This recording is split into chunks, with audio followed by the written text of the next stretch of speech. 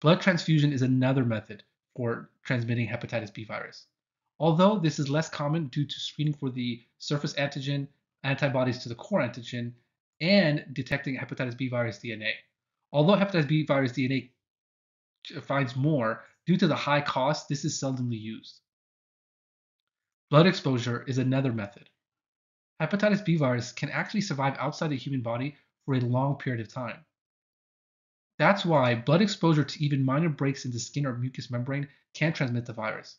Also, household articles with blood, such as toothbrushes and razors, is also a risk factor.